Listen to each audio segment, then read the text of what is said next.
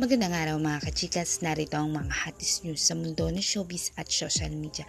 At kung ikaw ay bago pa lamang sa aming YouTube channel, don't forget to subscribe, like, at hit mo na yung notification bell para always kang updated sa ating mga videos. Sophia Andres admit she is a mom.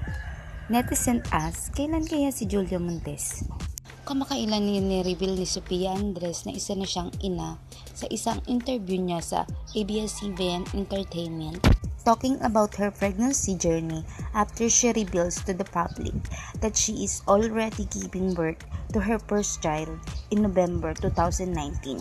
Sinabi niya na umalis siya ng Pilipinas at pumunta ng Australia sa parehong taon.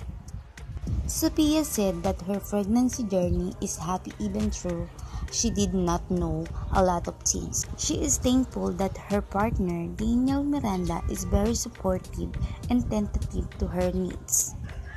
In the interview, Sophia said that the fact that the person she loved even loved her more really helped her in going through her pregnancy.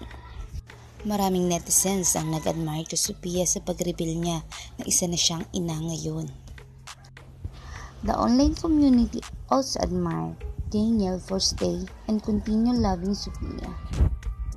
In the comment section of some netizens asked about Julia Montes. To recall, there were rumors last year. Julia and Coco are silent about this. Maraming nagsasabi na totoo daw ang balita about kay Julian Montes at Coco Martin. Sa pag-reveal ni Sophia Andres na isa na siyang ina, maraming netizen ang nagtatanong kung kailan daw ba magre-reveal si Julian Montes. Kayo mga kachikas, anong komento ninyo about sa isyong ito? Huwag mong kakalimutan mag-like, mag-subscribe at hit mo na yung notification bell para lagi kang updated sa ating mga videos. Marami pong salamat.